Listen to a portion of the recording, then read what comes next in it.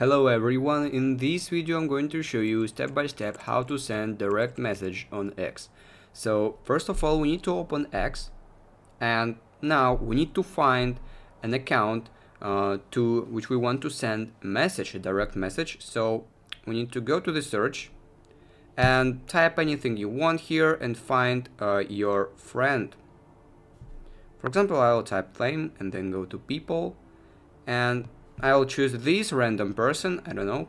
And now you can see next to the follow button you have a little message button with a little mail icon. You need to simply click on it and uh, it will immediately open your chat with this person. So now we need to start typing any message that we want.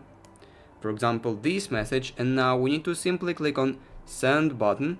This is the blue button in the uh, next to the message.